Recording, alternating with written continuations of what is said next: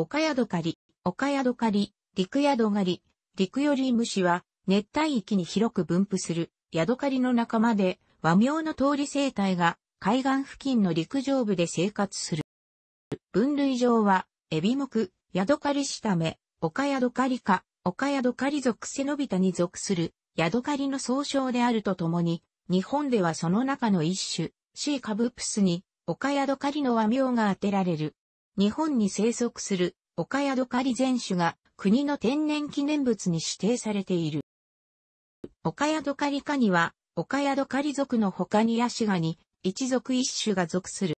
大まかな体の構造や巻貝の貝殻を利用して身を守る点については、他のヤドカリと同様だが、他のヤドカリが主に海星で、あまり水上に出ないのに対し、オカヤドカリは、名前が示す通り生態が陸上生活をする。また、他のヤドカリよりも、足やハサミ足が太く頑丈で、これは同じトガのヤシガニにも通じる。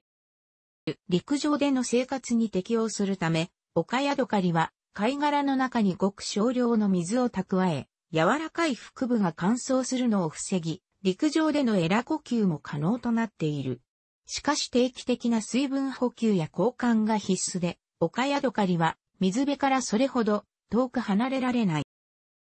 ヤドガイは陸生貝類、カタツムリから海産のものまで幅広く利用し、沖縄県等では外来種のアフリカマイマイも利用する。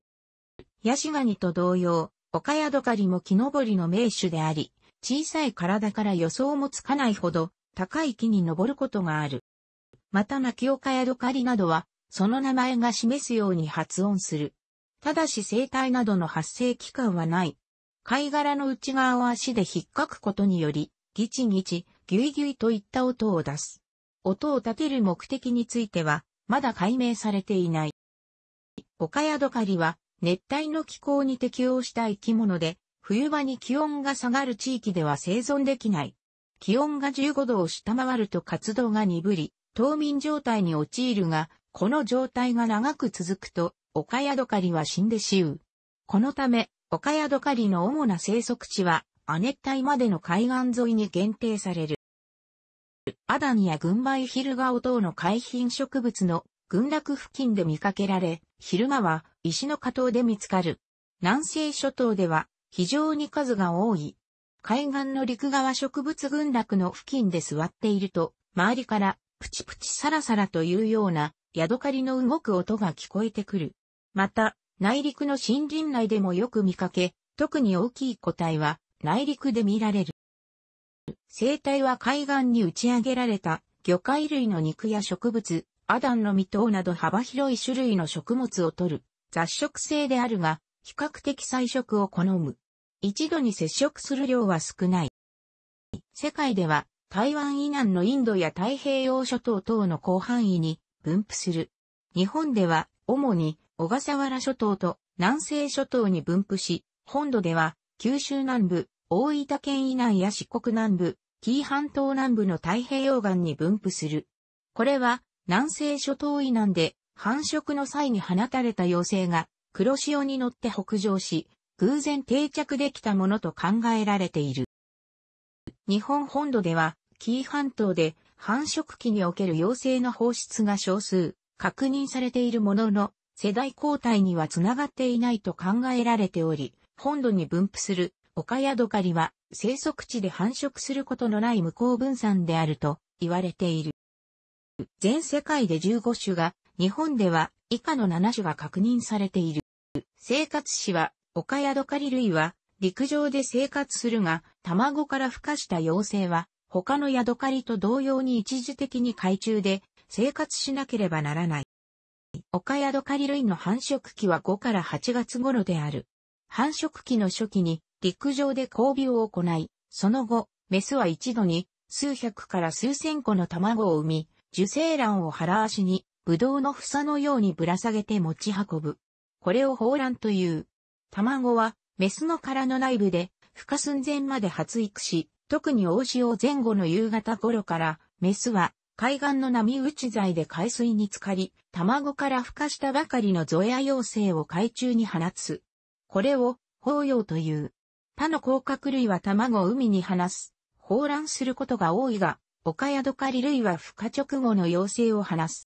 ゾヤは海中を漂うプランクトン生活を送り、植物プランクトンやデトリタスを捕食しながら成長する。およそ1ヶ月をかけて、数回の脱皮の後にメガロパ、ヤドカリ類のメガロパ幼生は、グラウコエとも呼ばれると呼ばれる形態となり、さらに、もう一度脱皮を行うと小さいながらも、生態と同じ体型となる。メガロパ幼生は幼体への変態に先立ち適合する、巻貝の貝殻に潜り込んで上陸し、以後は陸上生活をする。正確な寿命は不明ではあるが、シークライプタスの室内飼育では11年間生存し、本種の寿命は25から30年にもなると言われている。他の甲殻類と同様、オカヤドカリも生存中はずっと脱皮と成長を繰り返すため、長寿のものほど巨大になる。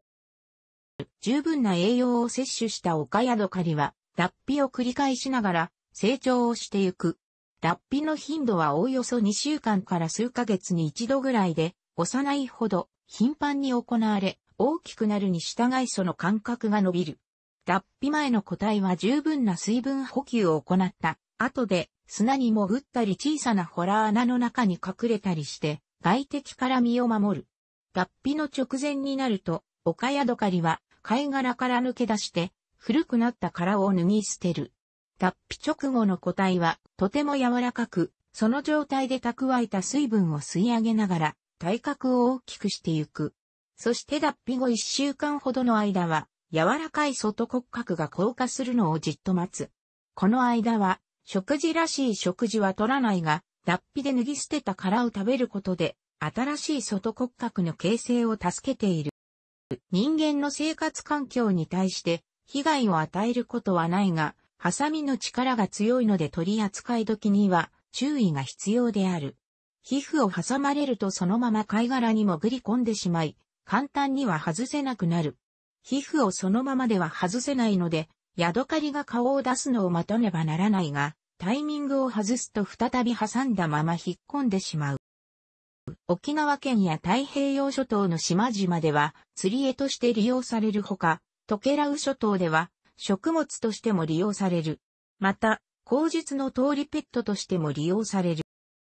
1970年、昭和45年に小笠原諸島における岡宿狩りの個体数の減少を受け、天然記念物に指定された。ただし、この経緯については、岡宿狩りが本州にはほとんど生息していないといい、物珍しさだけで指定を受けたのではないかとの指摘もある。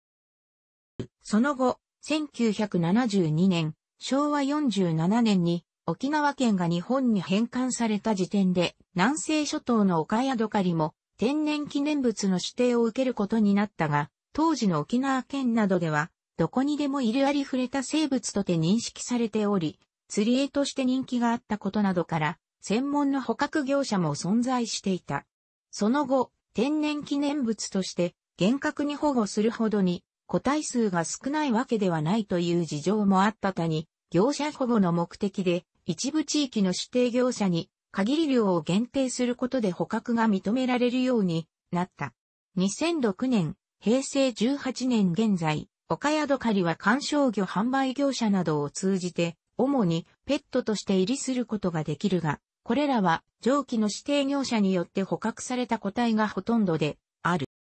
稀に沖縄県や小笠原諸島などを訪れた旅行者が砂浜から岡宿狩りを直接採取してしまうことがあるが、これは法律、文化財保護法に反する行為となる。許可を得た捕獲業者が捕獲すること、及びその業者を通じて、小売業者が岡宿狩りを販売すること、また消費者が購入することは違法行為ではない。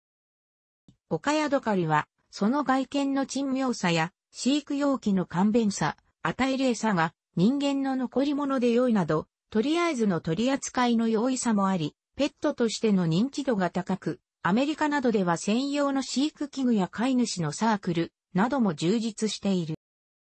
日本でも比較的古くから縁日などの露店で売られていた。歓迎地では爬虫類用のヒーターなどで保温し飼育する。海で産卵する妖精が海中でプランクトン生活を送るという性質上、飼育下での繁殖は難しい。タレントでお笑い芸人の石田明、ノンスタイルが、岡宿カリをペットとして飼っている。楽しくご覧になりましたら、購読と良いです。クリックしてください。